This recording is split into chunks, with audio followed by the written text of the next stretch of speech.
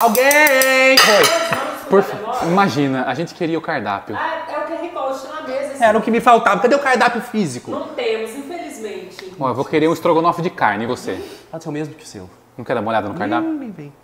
Dois estrogonofe de carne. Ah, obrigado. Vamos ver. 62 pra cada um, tá certinho? Não, tem alguma coisa errada. Não, tá certo, tem Tá. serviço. Aqui, ó, não tá cobrando a promoção. Moça, tá cobrando R$ 49,90, sendo que a promoção é R$ 29,90 o estrogonofe. Mas o estrogonofe da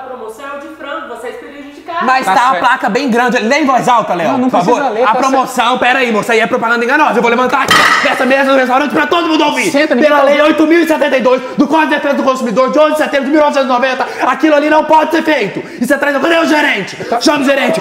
Tira os 10% e o cover. Não vou pagar. Eu vou ligar pra polícia agora, mandar fechar esse estabelecimento. Eu já vou ligar paguei. pro Celso Somano, ele O vai Celso resolver. nem tem seu telefone, Não cara. entra aí não, moça. Esse povo aí tá roubando, principalmente o estrogonofe. Pode entrar, tá ótima a comida. Cara, não dá pra sair com você mais,